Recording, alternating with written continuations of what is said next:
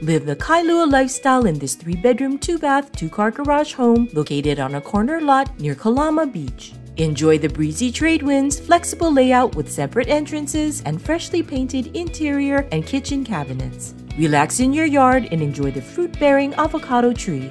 Make yourself at home by scheduling a tour with Crystal Cabansag.